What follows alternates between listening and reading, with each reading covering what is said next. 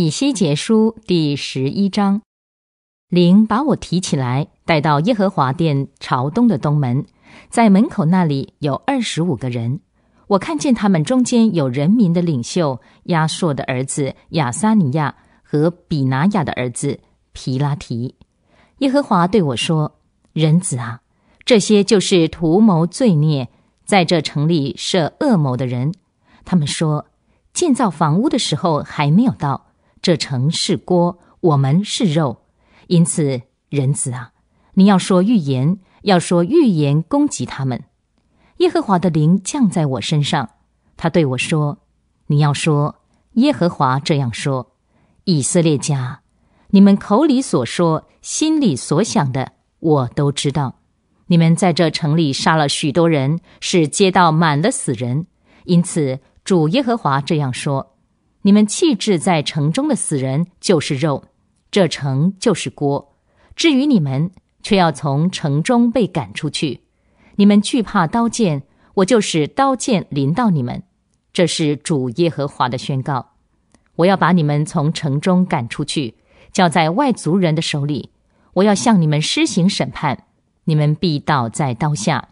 我必审判你们，直到以色列的边境，你们就知道。我是耶和华，这城必不做你们的锅，你们也必不做其中的肉。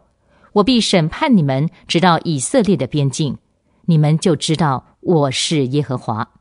这是因为你们没有遵行我的律例，也没有遵守我的典章，却效法你们周围列国的习俗去行。我正在说预言的时候，比拿雅的儿子皮拉提死了。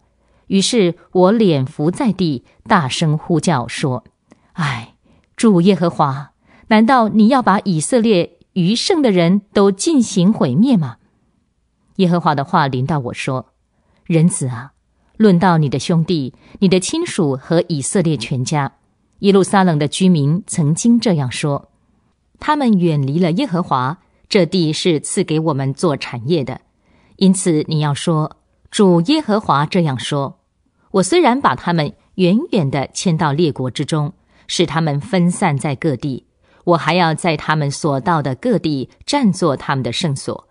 因此，你要说，主耶和华这样说：我要从万族中招聚你们，从你们被分散到的各地聚集你们，把以色列地赐给你们。